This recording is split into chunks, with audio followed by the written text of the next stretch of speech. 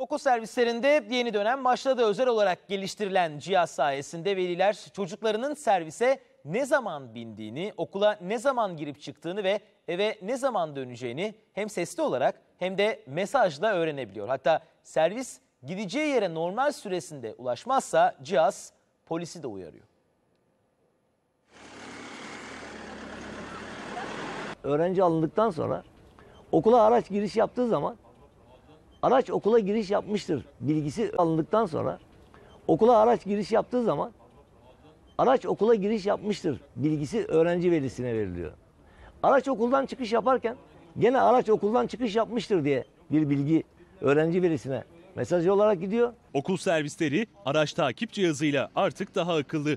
Gene e, o inme noktasına geldiği zaman öğrenci verisini sistem otomatik olarak sesli arıyor. O sesli aramanın haricinde tekrar akabinde e, bir kısa mesaj gidiyor. Diyor ki 1500 metre kalmıştır. Tahmini varış zamanında 3 dakikadır diyor. Hacettepe Üniversitesi öğrencilerinin geliştirdiği cihaz okul servisiyle veli arasında çok faydalı bir iletişim hattı oluşturuyor. Öğrenci velisi demiş ki 1200 metre kala bana e, haber verilsin demiş. 1198 metre kala haber verilmiş. Önce bir sesli arama yapıyor. Sesli aramanın arkasından tekrar bir mesaj gidiyor.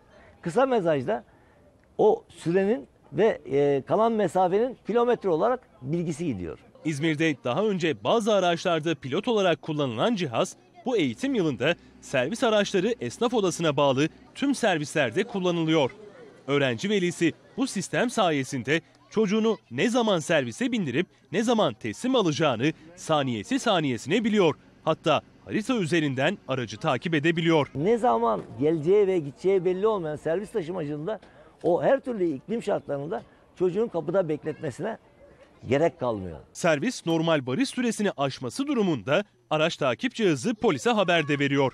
Bu sayede öğrencilerin zarar görmesini, velilerin de endişelenmesini önlüyor. Ayrıca çocuklar ve aileler için zamandan, servisçiler için de yakıttan tasarruf sağlıyor.